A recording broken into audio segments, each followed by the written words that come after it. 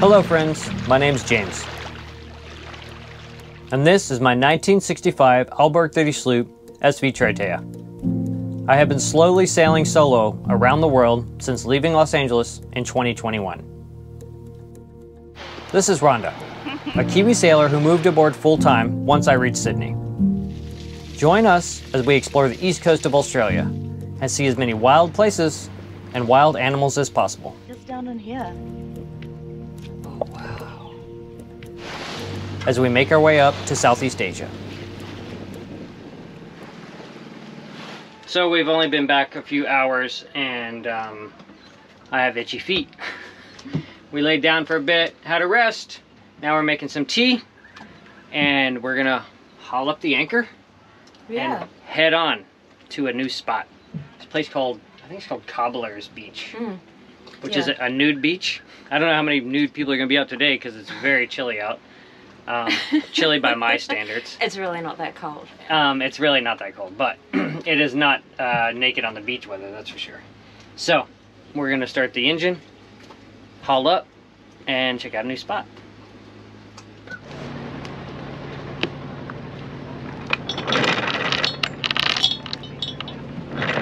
What's our depth?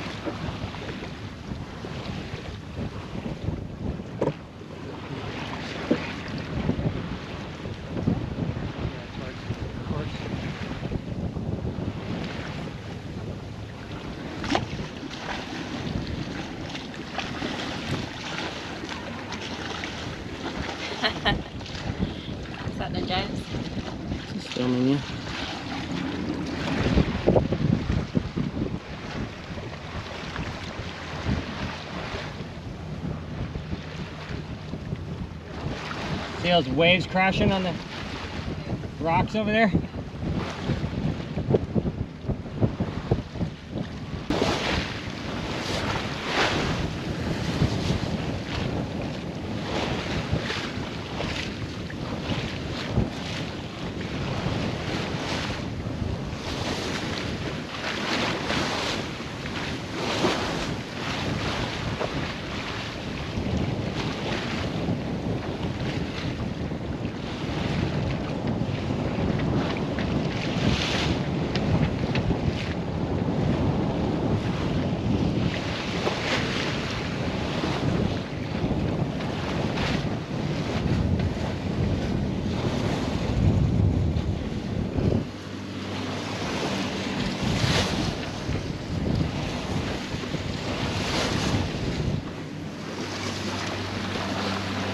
We're doing almost five knots with the dinghy into fantastic sailing wind. We're sailing like 1.2 miles or something. but it's fun just to like sail across the bay in decent wind. Without all of those other boats I out know, here. they were without the regatta happening. Yeah. Whoa, imagine that.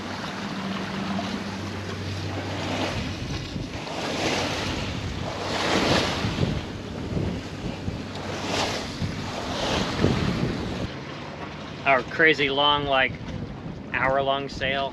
I don't even know if we took an hour. We are approaching the anchorage now. We've shortened head sail. We're just gonna kind of creep in under sail. We might anchor under sail if the conditions are right, but we'll see. But Rhonda pointed out there's one boat tucked way up in. we're not gonna get that ambitious with this anchorage, but here in Sydney Harbor, they tend, it seems like they have like yellow mooring buoys, which they call buoys, which they call buoys here, that kind of note where the anchorages are, where you can and can't anchor. So we're gonna head in, get behind these three yellow buoys. Yeah, boy! And uh, drop the hook.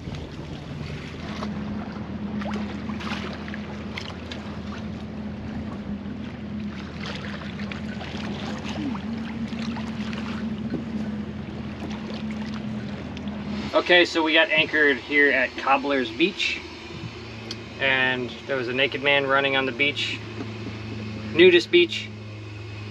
Before any nudists get offended, I have no problem with nudity.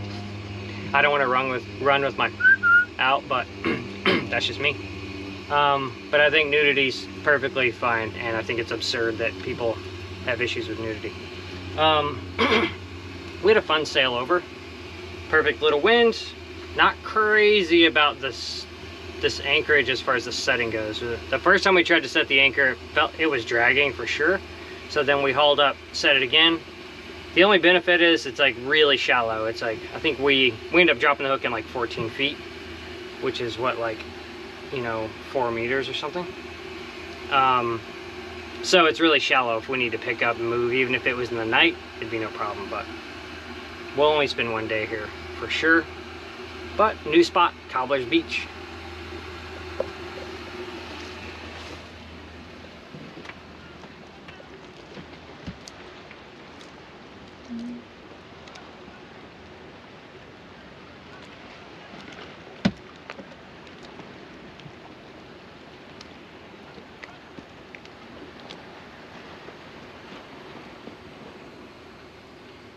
Rhonda just made from scratch risotto, which is much better than the instant risotto that I always make.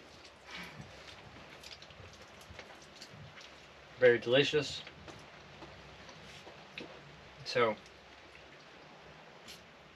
what do you think so far of Sydney Harbor?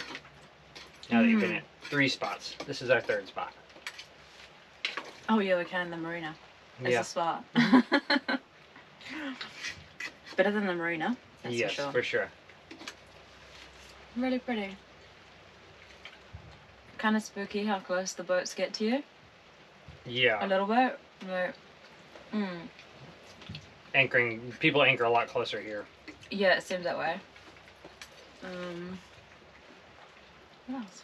You've noticed a lot of differences between here and New Zealand, Mm. like landscape wise and trees and Oh yeah, for sure. The trees and stuff. The landscape looking. Yeah, yeah. spiders. Oh yeah, that's nuts too. yeah, the spiders yesterday were crazy. Just lurking around. They're pretty big. Oh my gosh. They're That's- just they're just chilling. It's crazy. It's it's actually really a bit a bit frightening.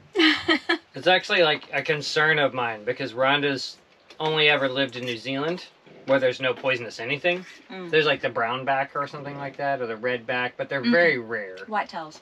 Whitetails, Mm. okay. But they're not they're not gonna kill you. No, but they're the only venomous thing in New Zealand, Mm. right? Pretty much. Yep. Um, so Nothing nothing wants to kill you in New Zealand. she's used to being able to just like tromp through high grass in the with no shoes on Mm. in the wild, you know. I grew up in New Mexico where we had rattlesnakes. We had to take like anti venom kits with us when we would go play in the pasture as a kid. We had black widows, we had brown recluses, we had uh, uh, Gila, Gila monsters. Uh, What's that? there are these lizards that are poisonous. Hmm. We had all kinds of stuff. Mm. So, for me, it was like the opposite. When I was in Fiji, I was like walking through high grass and I was super stressed, even though I knew there was nothing poisonous in Fiji, besides the sea snakes, which I actually saw one of those. But for you, it's a little riskier. You have to really keep your mind about you. Well, and I think I already have. Like, I am cautious about it. Like last night, you know, Mhm. going up on those rocks and stuff. And then if it was New Zealand, I would have just had, I would have just gone into the bush, like no questions, you know. But I was barefoot.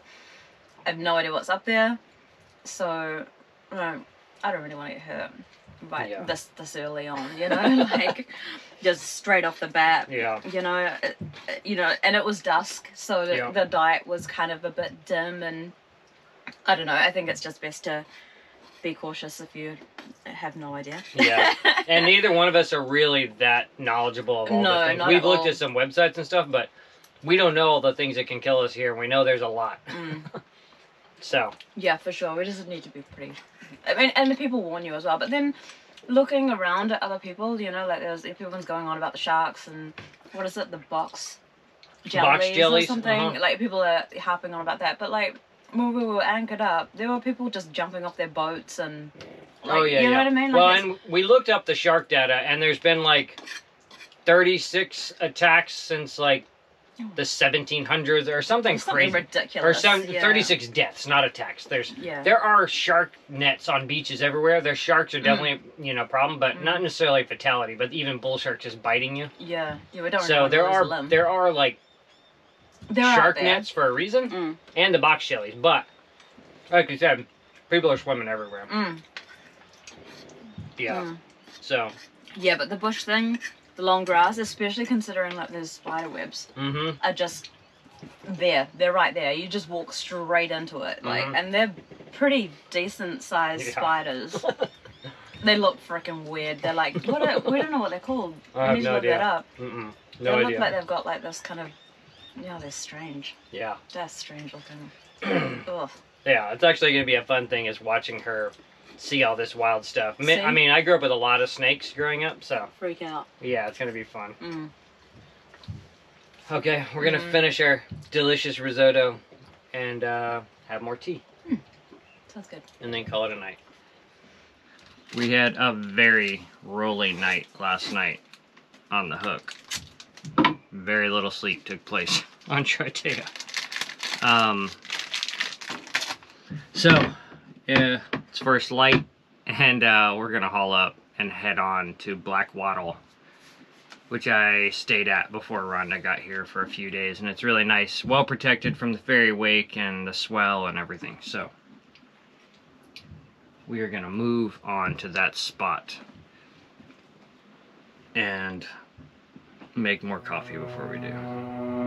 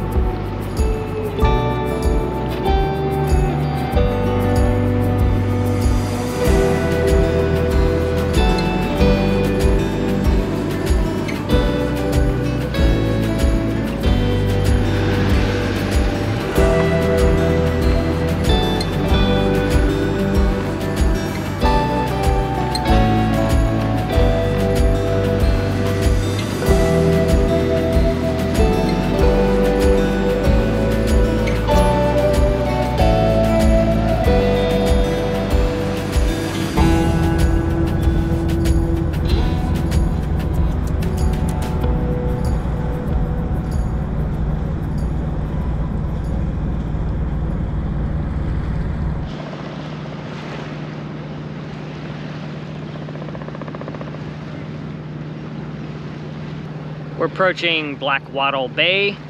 I spent a couple nights here waiting for Rhonda to get here from New Zealand. It's a cool spot.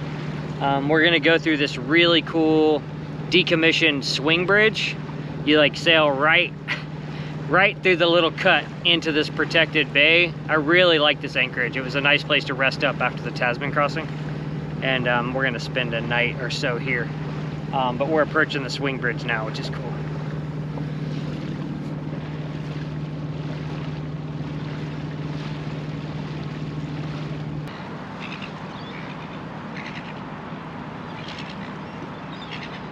This is rad.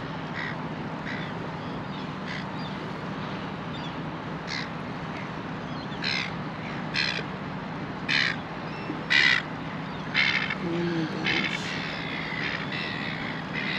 Oh, the new bridge is definitely different to the old.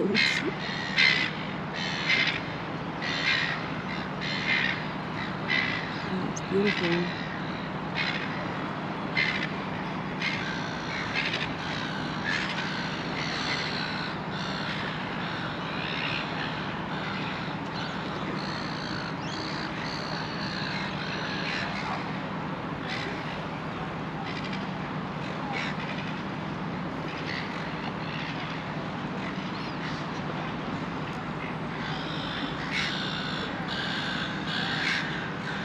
Oh, this Oh. so cool.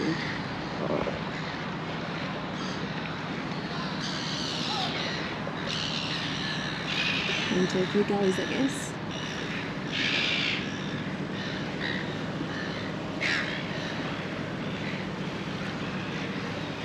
Hmm, oh, wow. Workings of it.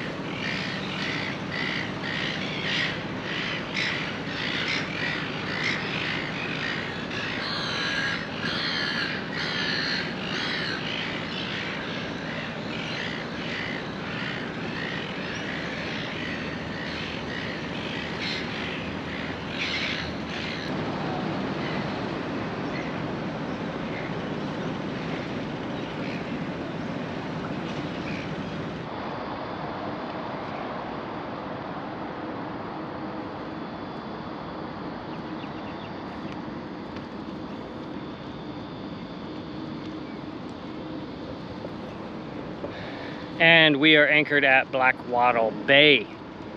I really like this spot. Um, this is my buddy Mert's boat right here. It's a 1984, I believe, Alberg 34. There were only four made. And from what people tell me on the internet, this is the only one that ever left Canada.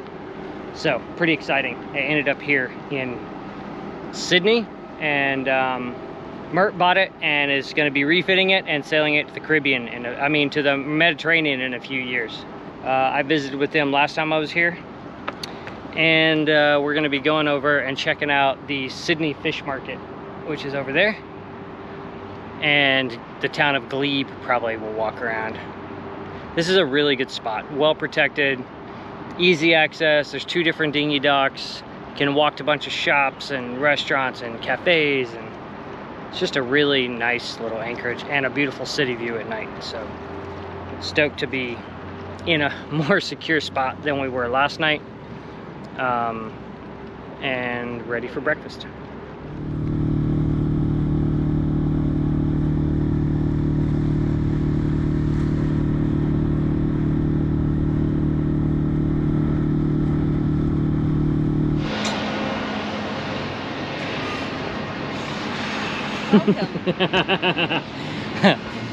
well, we just dinghied over to the fish market dock and we're gonna go check out the legendary Sydney fish market and uh, see what the haps is. Uh, easy little drive in the dinghy over. Um, check it out.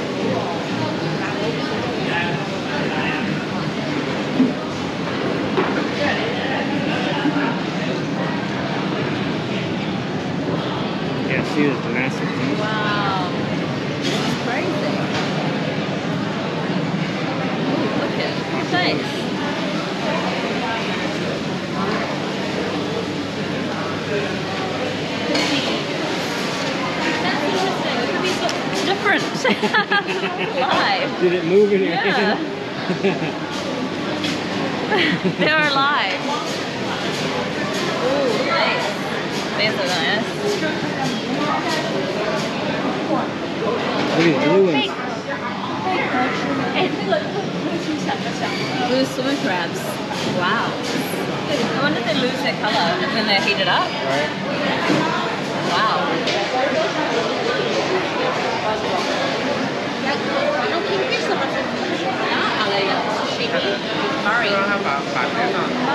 New Zealand snapper. He looks like he looks like a snapper too. It's like it looks like a you know kind of red emperor. It's part of the family. Barramundi. That was that fish. The barramundi. Where? Uh, it was on the menu somewhere. We were a couple of days ago.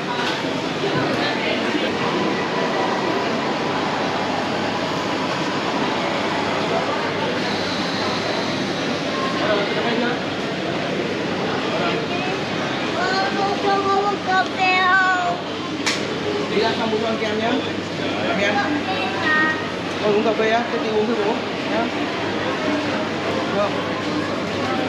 The Sydney fish market was like over the top. Mm, it was hectic.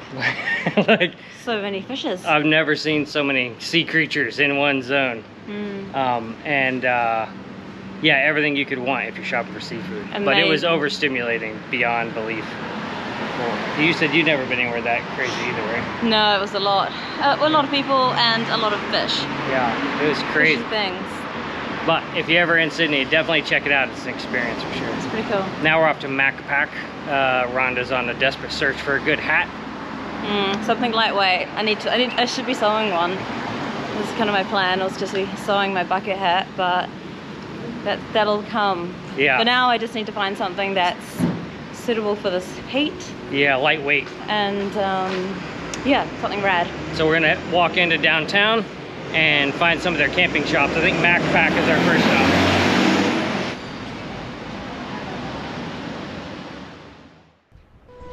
If you enjoy the content on this channel and would like to contribute, you can consider joining the Patreon crew. Thanks for watching. Fair winds until next time.